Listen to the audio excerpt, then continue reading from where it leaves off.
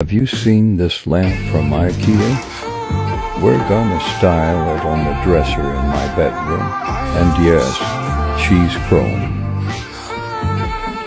Now let's style it. First, folks, then a baby art piece, some pretty flowers. More books, perfume, and a candle, and voila, we're done. What do we think?